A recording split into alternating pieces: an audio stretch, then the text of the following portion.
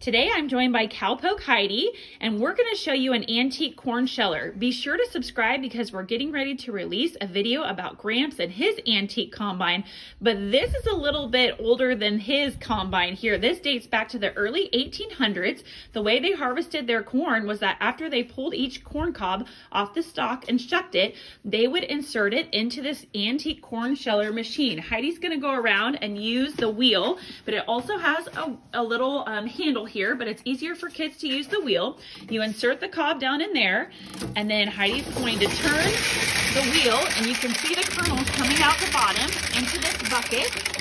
And then as she does that, you'll notice it's the little spikes that's taking the kernels off. And then she's gonna pull out what we're left with, which is an empty cob. So very fun, antique corn sheller. Be sure to subscribe so you can see Gramps and his antique combine do his corn harvest.